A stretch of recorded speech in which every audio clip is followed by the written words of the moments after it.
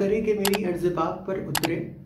खुदा करे कि मेरी अर्ज़ पाक पर उतरे, वो फ़सल गुल के जिसे अंदेशा जवाल ना हो। अस्सलाम वालेकुम कैसे हैं आप लोग? उम्मीद करता हूँ बिल्कुल ठीक होंगे। और अगर आपने क्यूरेटर्स को अभी ज्वाइन किया है तो आपको वेलकम करते हैं जी। चैनल को सब्सक्राइब कीजिए लाइक कीजिए शेयर कीजिए, और बेल नोटिफिकेशन को लाजिम प्रेस कीजिएगा, ताकि इस मल्टी डायमेंशनल अप्रोच के तहत चलने वाले प्लेटफॉर्म का एक एक नोटिफिकेशन आपको मौसू हो सके।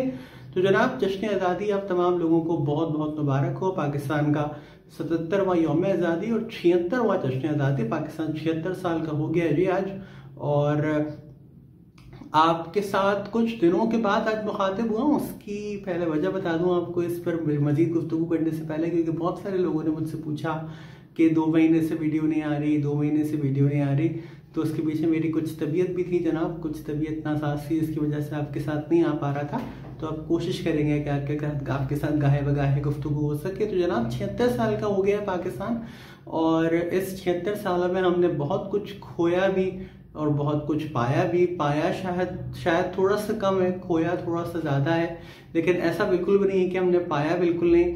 उन्नीस सौ पैंसठ की जंग, जहाँ पर पाकिस्तान मेजर अज़ीज़ भट्टी शहीद हुए, जहाँ पर और बहुत सारे लोग शहीद जो लोगों ने जाम शहादत नोश किया लेकिन पाकिस्तान ने दुश्मन के दांत खट्टे किए उन्नीस सौ अट्ठानवे कारगिल का महाज फिर उसके साथ साथ ऑपरेशन राह रास्त हो या राह निजात हो या ज़रब अजब हो या और बहुत सारे आ, बहुत सारी पाकिस्तान की अफवाज की कामयाबियाँ उसके अलावा मैं अगर तालीमी मैदान में बात करूँ तो अरफा करीम रंधावा हो या अली मुइन नवाजिश हों, डॉक्टर अताउररहमान हो या डॉक्टर ए क्यू खान हो या डॉक्टर फजल हक हो या एक बड़ी तवील पाकिस्तान की तारीख है अलहमदिल्ला एजुकेशन के सिलसिले में शरा, अदीब और किसका, जहाँ ज़िक्र करे, वहीं कोई फूल निकल के सामने आता है। जिसने इस मुल्क की तरक्की में अपना अपना किरदार अदा किया, फैज़ अहमद फैज़ की शायरी हो, या नूर जहाँ के नगमे हों, यानी कहाँ से गुफ्तु का आगाज़ करूँ और कहाँ गुफ्तु का अख्ताम करूँ।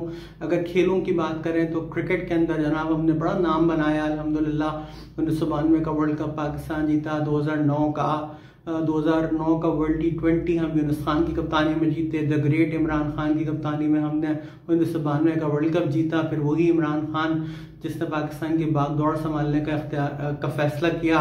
तो बावजूद तमाम तर मुश्किल के और नामसाइब हालात के वो पाकिस्तान का प्राइम मिनिस्टर बना और फिर उस दौर में पाकिस्तान की जो मुआशी सूरत हाल रही, वो सबके सामने है। साठ की दहाई में हमने जो मुआशी तरक्की की, वो सबके सामने है। वो अलग बात है कि साठ की दहाई के फ़ौर बाद आ, कुछ पाकिस्तान के ऊपर एक तो नामसाइब हालात थे ज़ाहिर इकहत्तर की जंग थी फिर उसके बाद आ, कुछ पाकिस्तान को हुक्मरान बदकस्मती से इस तरह के मिले कि पाकिस्तान मुआशी तौर पर बदहाली की तरफ़ जाता रहा। कुछ अरसा अलबत्ता इस बीच ऐसा आया था जब हम कशकोल किसी कदर तोड़ने में कामयाब हुए थे, हम आज़ाद हुए थे चुंगल से आईएमएफ के और मुख्तलिफ़ मुआशी माहरीन पाकिस्तान को पॉजिटिव रेट करने लगे थे, लेकिन फिर पाकिस्तान एक मरतबा फिर मुआशी हवाले से बदहाल हुआ।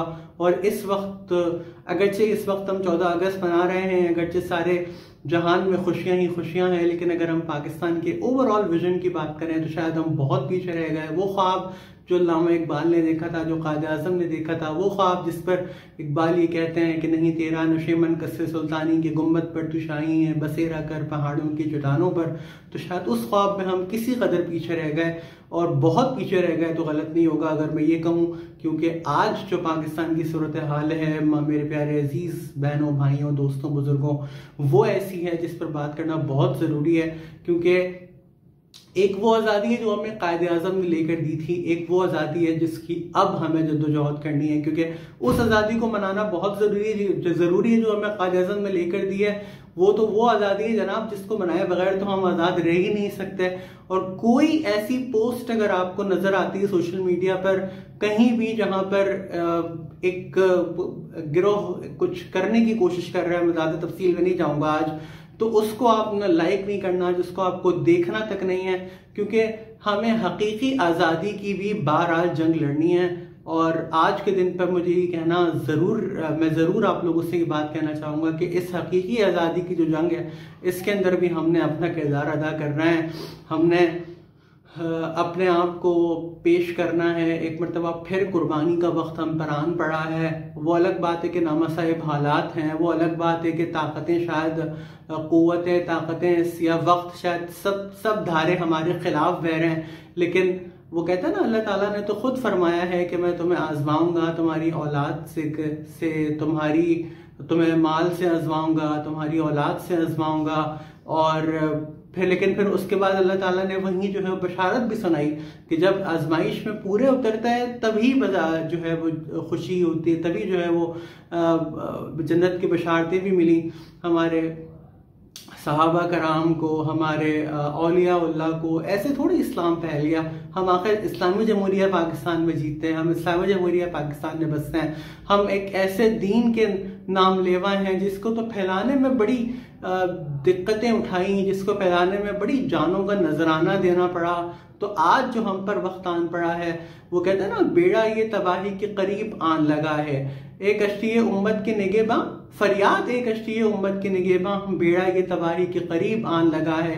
खास खासान रसुल वक्त दुआ है। उम्मत पे तेरी आके अजब वक्त पड़ा है। जो दीन बड़ी शान से निकला था वतन से परदेश से वो आज गरीबुल गुरबा है। जिस दीन ने गैरों के थे दिल आके मिलाए, उस दीन में खुद भाई से अब भाई जुदा है। तो आज हमें उस दीन के लिए भी अपने आप को अलग इकट्ठा करना है। और उस दीन के नाम पर बनने वाले इस्लामी जमहूरिया पाकिस्तान के लिए भी अपने आप को इकट्ठा करना है। तो आइए, अहद कीजिए इस मौके पर कि एक वो आज़ादी जिसके लिए हमारे कायद अजम और उनके रफ़ा ने जदोजहद की थी, उससे सेलिब्रेट करना है, लेकिन उसके साथ साथ अपने आप को हकीकी आज़ादी के लिए तैयार करना है। पाकिस्तान जिंदाबाद।